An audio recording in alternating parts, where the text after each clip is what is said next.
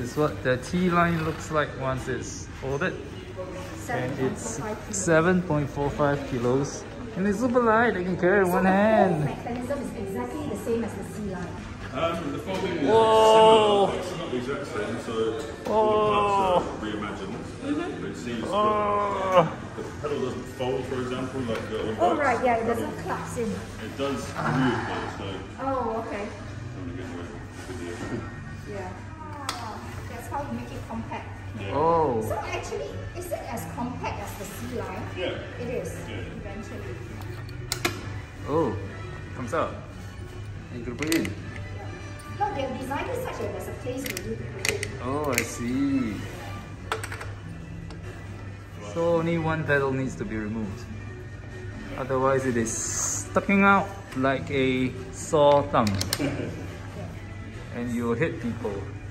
3,900 pounds. It, it will take off in Singapore, I'm very sure. There's a, Yeah. an absolute cycling craze now. I know, I know. Your appointment four to six months later, you step into the shop, you can buy one item, but it's anything that's in, available in the shop. You can't order anything. Crazy. Yeah.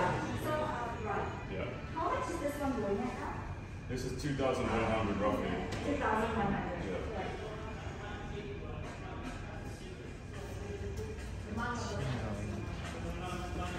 Mean, the C line is what everyone knows. Oh, oh, oh, Do you have a lot of foreigners So- Yeah. Okay.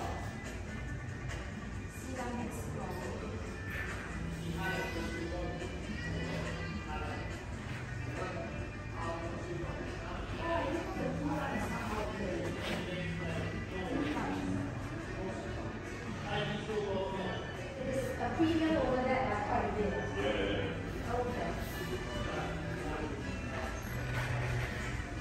This one's a steel frame with some titanium parts. Alright. This is a titanium part, a titanium frame with some carbon. I see. It looks bulkier, but it's obviously not bulkier. Yeah, you make the frame a bit wider just for, Support.